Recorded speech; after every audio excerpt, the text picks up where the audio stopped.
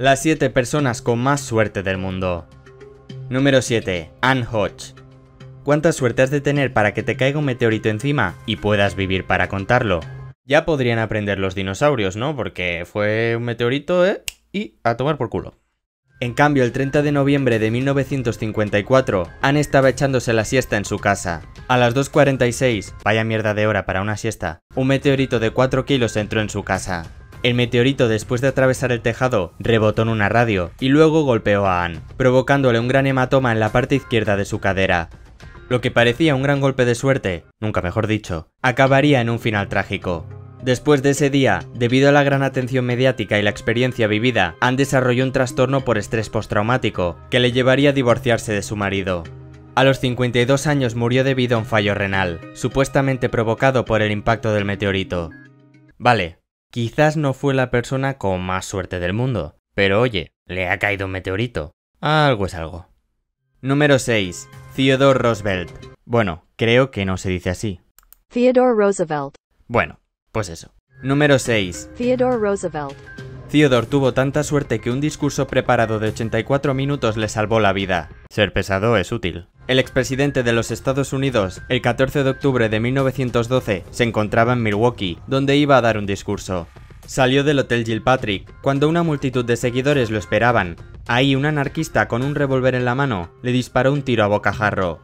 La bala se dirigió hacia el corazón, pero su discurso preparado de 50 páginas, colocado en el bolsillo de su pecho, frenó la bala y en lugar de matarlo, simplemente se quedó en su costilla. A pesar de esto, quiso dar el discurso, y en él dijo, se necesita más que eso para matar a un alce maduro. Qué épico, ¿verdad? Aunque lo de alce maduro no me acaba de convencer. Número 5. Bill Morgan. Bill tuvo un accidente, sobrevivió, murió, resucitó y luego ganó dos veces la lotería. Ya me podría dar un poco de su suerte. Con 37 años, Bill tuvo un accidente con su camión, que le llevó directamente al hospital. Para poder sobrevivir necesitó medicamentos muy potentes. Estos medicamentos le causaron un paro cardíaco y estuvo muerto durante 14 minutos. Después, resucitó gracias al personal médico. Bill estuvo 12 días en coma, pero despertó como si no hubiera pasado nada. De hecho, decidió cambiar de trabajo, pedirle matrimonio a su novia, y como se veía afortunado, también probó en un boleto de rasca y gana, donde le tocó un coche valorado en 25 mil dólares. No, no, si es que no tiene sentido. Y eso no es todo. Después un programa de televisión se interesó por su historia. Querían que Bill recrease cómo había comprado el boleto y cómo ganaba el coche. Pues mientras grababan, con otro boleto, ganó 250 mil dólares.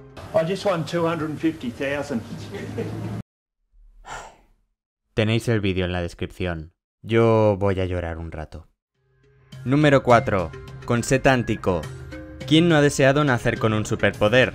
Todos hemos querido ser Spider-Man alguna vez. Conseta Antico, una artista australiana, tiene la suerte de tener uno. Antico tiene tetracromía, una mutación en un gen que le permite ver 100 veces más colores que una persona normal. Bueno, no puede tirar telarañas o subirse a las paredes, pero no está mal. Los humanos normales somos tricromáticos, es decir, percibimos los colores a través del rojo, el azul y el verde. Antico al ser tetracrómata percibe a través de cuatro colores primarios. Puede parecer una tontería, pero a continuación podéis ver la diferencia entre una persona tricromática y daltónica. Esta diferencia es similar a lo que le ocurre a Antico con el resto del mundo. Esta es la comparación según ella. Sí, mientras nosotros vemos un árbol, ella parece que se ha metido el SD. Antico destaca por haber aprovechado esta condición para el arte. Sus obras son conocidas por todo el mundo, siendo exhibidas en diferentes museos y galerías de arte. Número 3. Fidel Castro.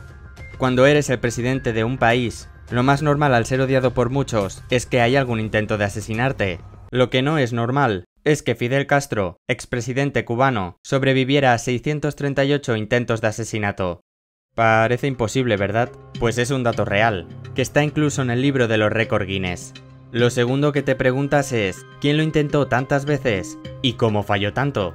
La mayoría de intentos están atribuidos a la CIA, la Agencia Central de Inteligencia de Estados Unidos. Inteligencia no mucha, porque todos sus intentos salieron mal. Contrataron a su amante para que le diera cápsulas envenenadas. Pusieron francotiradores, zapatos explosivos, un puro venenoso, un puro explosivo, una pelota de béisbol, adivina, explosiva, o incluso un traje envenenado.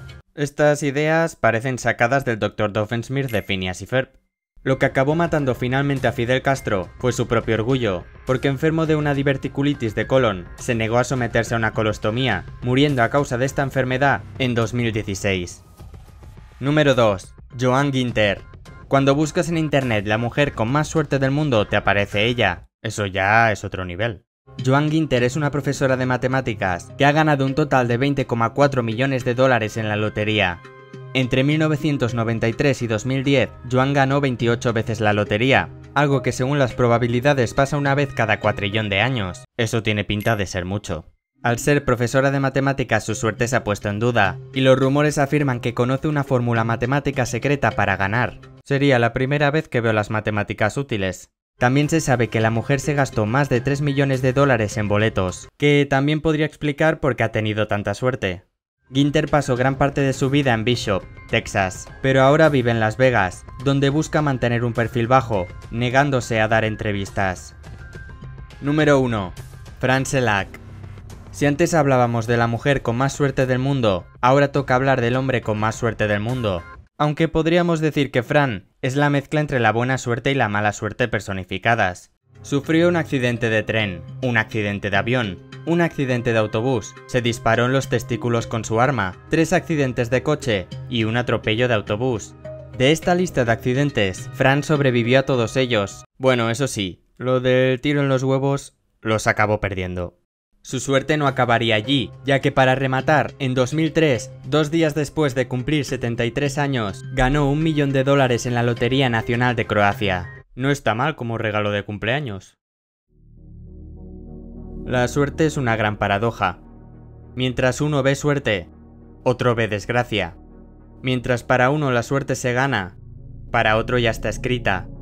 Puede que la suerte no exista, o quizás la suerte dependa de tu punto de vista. Y eso es todo gente. Dale like si te ha gustado, suscríbete para más, un abrazo y hasta pronto.